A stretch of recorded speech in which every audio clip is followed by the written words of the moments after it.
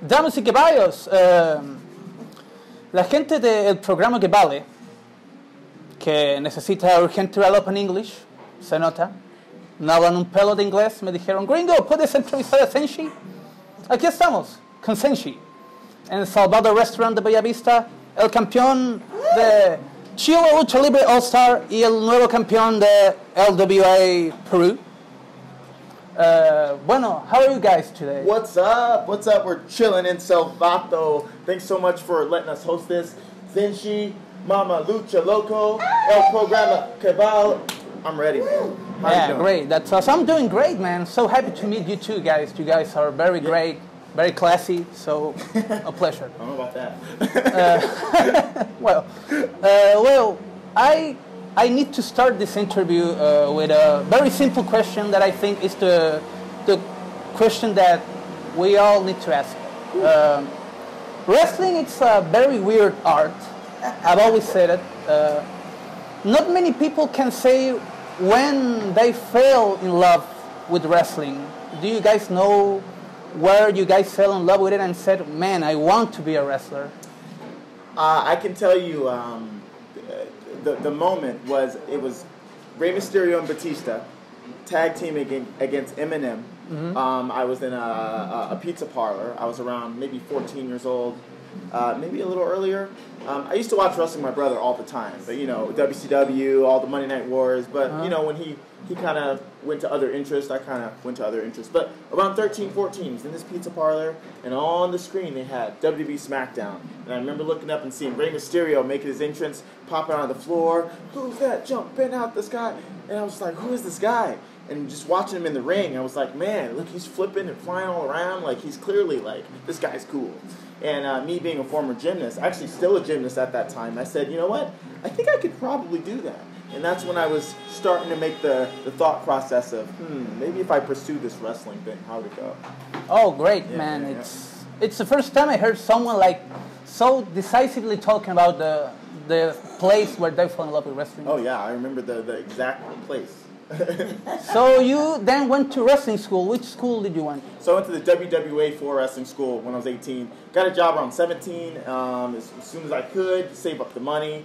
Uh, paid the $990 um, uh, to Mr. Good old Total Protection, Mr. Hughes, uh, Uh-huh. the head trainer at the time.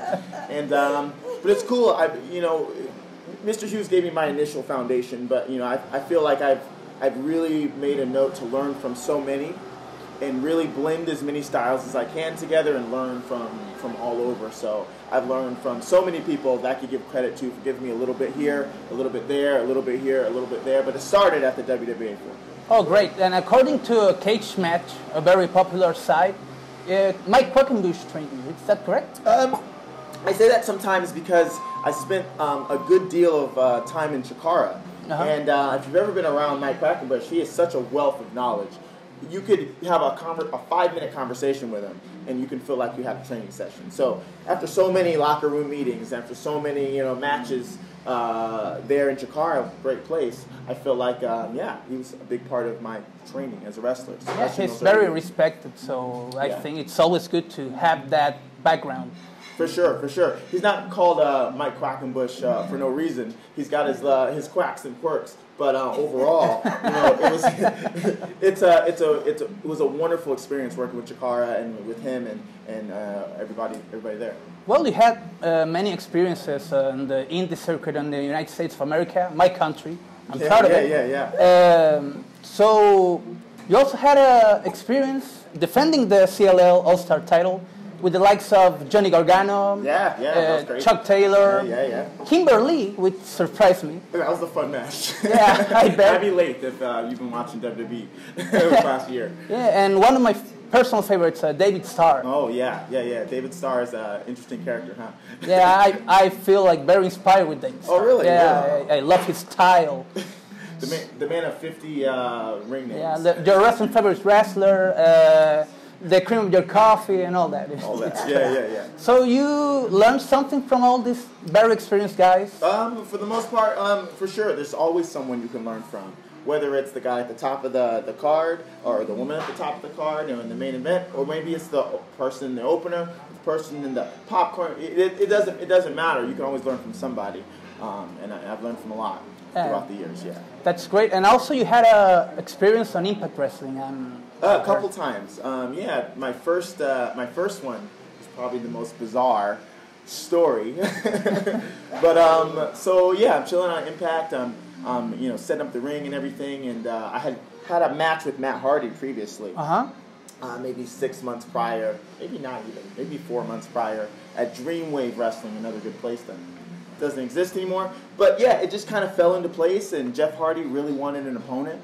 Um, he was still not medically cleared to to wrestle to his full capacity, but he was trying to tell the office like, "Hey, I want to wrestle. I'm here. I haven't been on TV in in six months from my motorcycle accident." And um, yeah, they looked around and was like, "You know what? I think Shynron at the time would be a, a good opponent." So uh, they, they put me in the position and I had to go out there and do my best. Uh, I, I guess notice. it was such a privilege to be Yeah. there. Man. Yeah. Uh, so, according to that, I think Impact Wrestling is growing a lot. Maybe not that big enough to be a competition for the WWE. You know, WWE is a monster. How can you compete with WWE? But what do you think about the actual state of indie wrestling in the United States, like now? Um, so I think um, you know everybody's got their own opinion, and there's many different perspectives you could look look at. Um, but number one, it's overwhelmingly positive in the in, in the fact that there's never been more opportunity for wrestlers. There's never been more ways for wrestlers to you know um, you know to go. Before we were told, hey, there's only one path. You either go to WWE, WWF, or you're a loser. Yeah. Like that was the only options. And the people that had access to WWE was like this small. And then everybody else was like, oh, you're wasting your time. Why are you a wrestler? All this kind of stuff. Now, you know, they're starting to pay attention to the independents more. You know, there's, there's, there's way more types of wrestling now. With the internet, it's exploded. Now you can actually send your resume into WWE. There's a way for you to do it now. Before, you had to put your stuff on a DVD or a VHS and, and go to WB headquarters and hope you can pass it to someone that'll pass it to someone that'll pass, throw it through the window, pray to God, you know. So I feel like uh, overall it's much better. Yeah, of course. And also, you can see that in the WrestleMania weekend shows. Yeah, for sure. which are as good as NXT or maybe the WrestleMania itself. Mm-hmm. So, For sure. have you uh, tried to get maybe a little bit of more experience overseas, like not only United States and South America? Have you been in Europe, for example? Would you like to be in Europe, Japan? Um, not quite yet. Um, right now, my focus has been on South America. Um, I'm trying to take over a country one at a time. Got Chile on lock. We got Peru. Um, Yeah, it's our of course. acquisition. But uh, how about some Ecuador, and some Argentina, and some Brazil? How about some? If you're listening, Brazil Wrestling Federation. Just kidding. Um, but uh, no, I'm not. But I'm looking at South America, eventually Europe, Japan. I want to go to Australia. I'm someone that takes more pride in going to places not previously traversed Yeah. by most wrestlers. That's why Chile was so uh, interesting to me, as you know, in the, in the states. People are like, "There's wrestling in Chile." Like Chile, oh, okay, okay. And when Fox, won, you know, was the first champion and was taking the belt to all these places, that's when a lot of eyes were like opened up for the fans in the U.S. Um, and I feel like I built upon that platform, and then I'm taking that same uh, that idea and I'm trying to bring it everywhere else. Yeah, of course. You know, in Chile, it was very complicated to be a wrestler because, like 10 years ago, if, if you said to someone WWE is doing a tryout in Chile, they will laugh their ass off in your face. but now it's possible. It happened. Yes, days ago, Yeah. it, here, WWE in Chile, yesterday. It's absolutely crazy. I, I can't even believe it. Pretty crazy. I see how WWE is. I, I think I feel like I see their, their, their game plan here. They're trying to expl- expand NXT to different territories. You know, with the UK. You know, I feel like there's going to be an NXT Latin America so slash South America. I feel like there's going to be an NXT um, uh, Asia or you know, name it whatever you want. NXT Down Under, you know, for New Zealand and Australia. And I feel like um, that's just more opportunity for everybody. Yeah, of course. So, have you, well, we're talking about Chile and professional wrestling in Chile. have you seen any other product in Chile along uh, alongside CLL? Um, a bit, a bit. You know, CLL is my baby Yeah, right course. here. So you know, I gotta, I gotta focus 99% on Chile Lucha Libre because I think we're just the best. Um, of course. But not putting any other Chilean uh, promotions down. But no, I, I do take some time and, and, and- and watch some some of the other guys coming up, and um, mostly matches that people send me. Um, because I'm not here all the time, so obviously I'm not in the news all the time. But I do have friends that send me clips, send me matches, and I Uh-huh. do follow people on Instagram and YouTube, and, and, and end up uh, watching things here and there. Okay, and of course, the, the place where you have more influence is CLL. Uh, have you trained with the CLL crew? How, what do you think in general about CLL? For sure, I think CLL has shown so much growth. Oh, since uh, I was I was here the first time back in 2014, and even since I was here the second time earlier this year, um, I remember working with them in a seminar. You know, I don't know, four and a half years ago, and uh, it was still very much raw talent. You know, it was just like rough around the edges, but a group of people that wanted to just try and they wanted to make something for themselves. I could feel the passion, and uh, and now, um, you know, to, to see how far CLL has come and the quality of wrestling, it's, it's really cool. Oh, great. So we're seeing that you are here with Mama Lucha Loco. Oh yeah, Uh, do you travel a lot with Zenshi? I try to as much as possible. Um, due to some disabilities, he tends to go out first and check the area for me. And my future is to be as invested in his career as my other children's as well.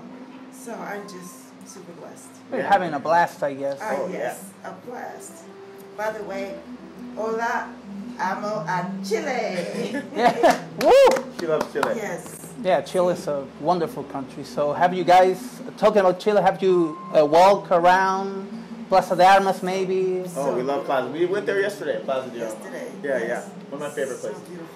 And, uh, and like other cities maybe? Valparaiso, Concepcion? I was here about in Valparaiso uh, before. Oh, I love the coast and the, the houses and the graffiti and the, the parkour, all that stuff. I love Valparaiso. I'm gonna take you eventually. I don't know if Yes, we have time this must trip, go. but uh, Oh, no. but pretty soon. We'll, we'll, we'll hear see. it's beautiful. We'll see.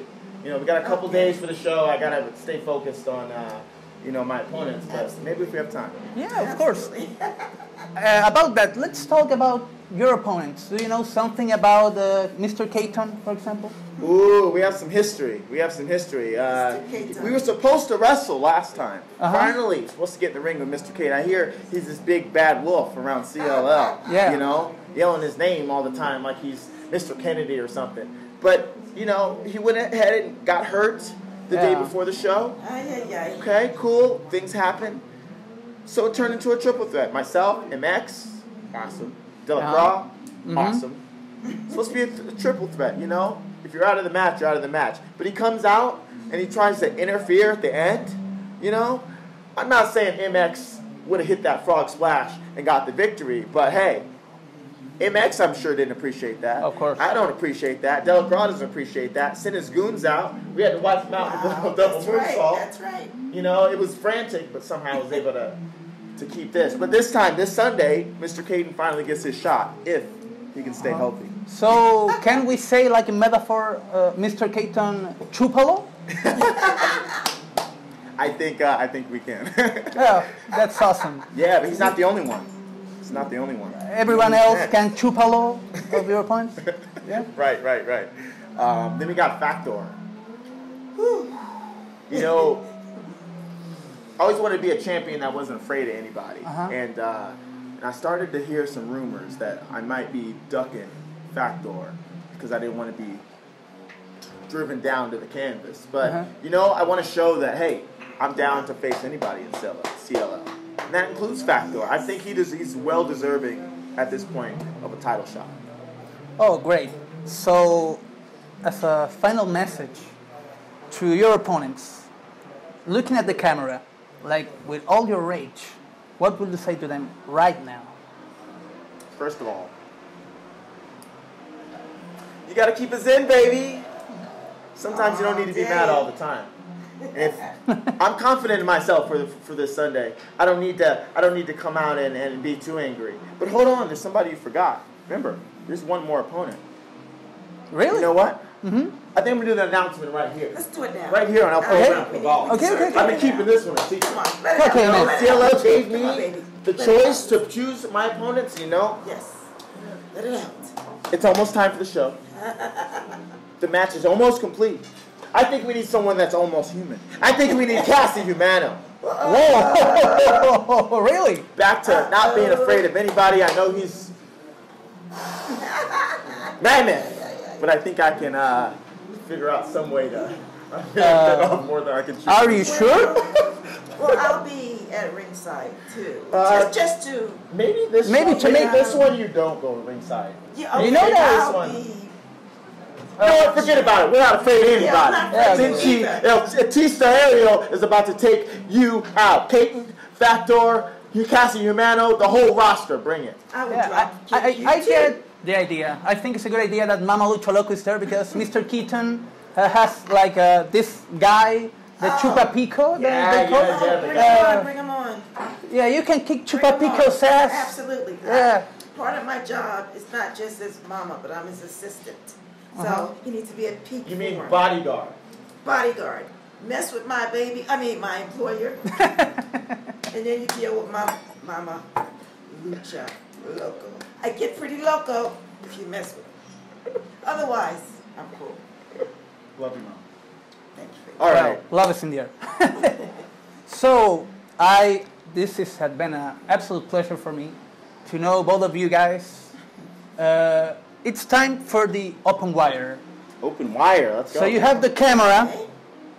You can say whatever you please, like curses, words of advice, whatever. It's your minute of fame. Go ahead. Open wire. Open, Open wire. wire. Open wire.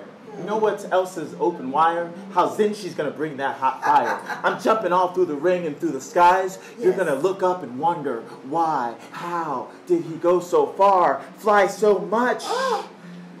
when I get you with that cobra clutch, Oh, you're gonna think you had a little bit too much. This championship right here Uh-oh. means the world. It's It's, almost been 2,000 days. Mr. Caton, Factor, Jeremy, uh, Casi Humano. no way. Zenshi is in Chile here to stay. Well, cheers for that. So That So, was not about a bad freestyle. I think I should uh, be featured on Logic's next album. I, Yeah. yes. Logic, you hear me? you Hey, do. let's let's look it up. I will support you. so guys, thank you so much for this interview. Uh, Zenshi, the CLL Star Champion, LWA International Champion. Thanks so much. Thank you so I much. appreciate it. Mama Lucha, Great. thank you so much. I'm here also for this wonderful area and country to share the love. I'm getting emotional now. I love the young wrestlers coming up. I've seen what my son has gone through to get to where he is. Hang in there, guys. And young ladies, don't give up. And young ladies, step forward. Step forward, young ladies. It's not just for the men. Also, I'm here on behalf of the animals, especially dogs. I am a, in America, a service dog trainer, working dogs, and um, I have a passion for the the dogs that are um, running around the streets with nowhere to go. So, my 12 Paws Foundation back in America is working with a lady I met from Holland, trying to figure out a way to help the animals here too. Yeah, Before- that's awesome. be- Before we before we wrap up, I know we have a little bit of t- a time limit, but you brought up another thing. I think belief is a big thing. Um, I think it all starts with your thoughts. Um, I think it uh, I think it begins there. So if you want to make anything happen, um, you really got to believe in yourself and believe you can do it. Um, you know, one part of my mission, real- you know, of conquering the con- countries one at a time. It's not so much conquering them, but it's it's it's sharing the love of lucha libre. It's sharing that love of wrestling. And um, you know, I feel like I've been so blessed to do so many great things with Chile Lucha Libre, and now so many doors are opening up in Peru. And I just want to keep spreading that. Just want to keep uh, working with all the young wrestlers and really change the foundation of wrestling um, in these places that don't have as much access. Um, that's been a big passion of mine, even in lieu of my own fame or success. Like people are like, why aren't you on this company? Why aren't you on this company? Well, how come you haven't won WWE yet? Because I have a long-term vision. This is 10-year visions, not today's success. So I have no problem deferring my own stuff and going through the sacrifices. I mean, these are proof right here. Like, there, you have no idea. There was so much blood, sweat, and tears put into just the fact that we're sitting here right now. Um, uh, and I just feel such a close connection with these two companies uh, in particular. And I feel like, uh, you know, it's, it's my mission in wrestling almost uh, to continue that um, and see where that ends up. So we can say that first Chile, then Peru, later the world. Later the world, later the universe. That's awesome. Let's do So, uh, chicos, no, no se rindan. Mensaje de Zenshi. So, thank you so much again. Thank you guys. Thank you. Ciao. Ciao, Bella. ciao. This is Zenshi, and we're here at the restaurant Cebado with El Programa Que Vale, and we're over here enjoying with the chef, Mama Lucha Loco, and this Lucha wonderful Loco. chirimoya juice. I love your Yeah, mango. salud. Refreshing, delicioso. I need some salud. more. Salud. Yes, yes, yes. Bueno, un saludo muy especial para el programa que vale, de parte de aquí del restaurante Salvago, y con mucho amor y cariño para ustedes. Yeah, we're here, Cebado. Salvador. It's a beautiful place. Uh, I just love the decor. The food is very, very good, very tasty.